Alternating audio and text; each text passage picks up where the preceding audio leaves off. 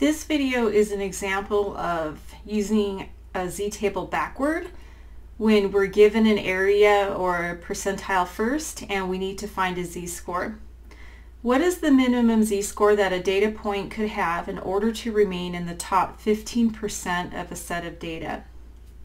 All right, I'm also going to do this in using the TI-84 also, um, but we can do a problem like this using a standard normal table. It's just that our answers are might be a little less accurate than if we went ahead and used technology. So what you want to do is you want to draw what they're asking. Okay, so I'm working with a z-distribution or the standard normal distribution. I need to put zero in the middle. And I want to find the z-score. I'm not given the z-score first. I'm given the cumulative area first. Okay, so it's asking um, for the minimum z-score that separates the top 15% of the data from the lower 85%. Now, how do I know that 85% is below this particular z-score? Well, the total percentage under the curve or area under this bell curve is 1 or 100%. So if I'm given an area of 0.15 in this upper tail, okay, this would be the top 15%. And the fact that this total area under this curve is 1 or 100%, then that necessarily makes the rest of this area 0.85 because 0.85 plus 0.15 is equal to 1 or 100%. Okay, to use both the table and the calculator, I need this 0.85. Okay, I could use this one five in the calculator, but it's going to spit out the negative version of this.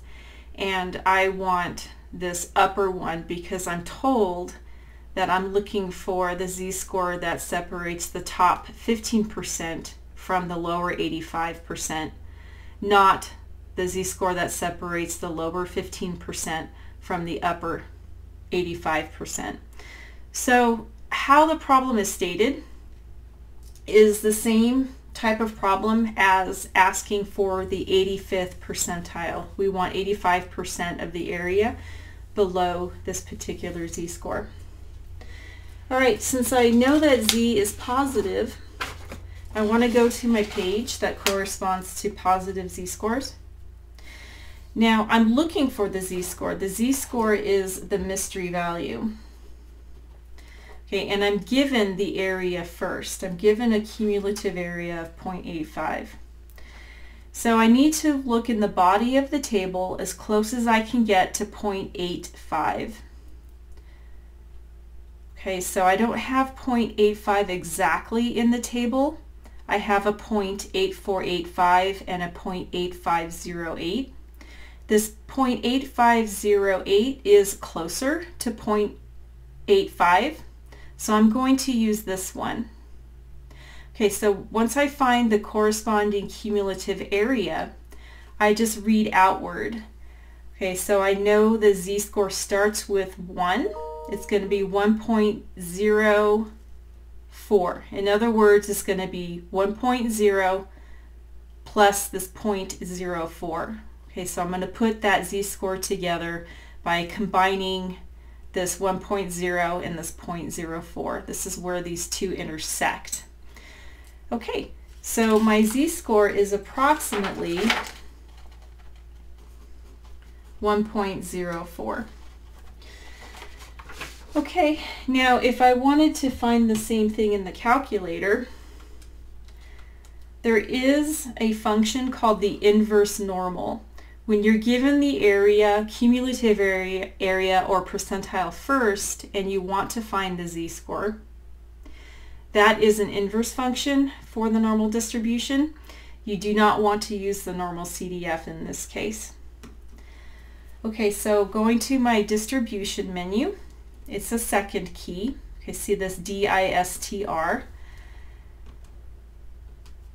And under the normal CDF is the inverse normal. And you want to put in the area. Now, this is a newer calculator. The older calculators have you putting in a cumulative area left to right. Okay, so if you're using a TI, an older TI-84, you're going to need to put in 0.85. Otherwise, if you put in 0.15, it's going to spit out the negative version, which is fine. You just remember you were expecting a positive z-score here. The newer calculator lets you pick where the area is placed. Okay, so I have an area of 0.15 to the right.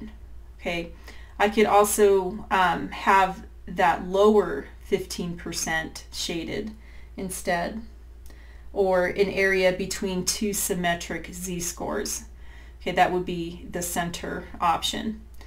Okay, so if I put in 0.15 and keep that as right and leaving this as 0 and 1, which is for standard normal, enter and enter again.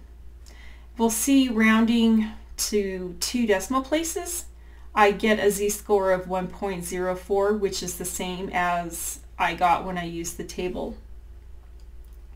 I could, going back to the inverse normal, I could have put in 0.85 and change this to left. And you'll see that I get the same z-score. It's the z-score that separates the lower or the left 85% from the upper or right 15%.